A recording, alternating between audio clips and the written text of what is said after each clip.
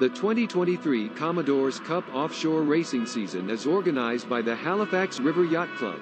The Commodore's Cup is a summer series of sailboat races, some of which will be visible from shore. Rather than competing only in deep water, a near-shore course has been established to bring the sailboats within a thousand feet of the sand.